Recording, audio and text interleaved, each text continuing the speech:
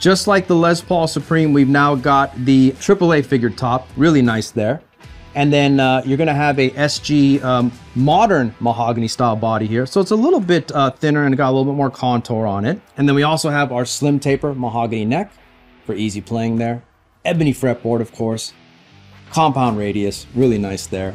I'm holding right now the Fireburst finish. Let's give it a quick spin.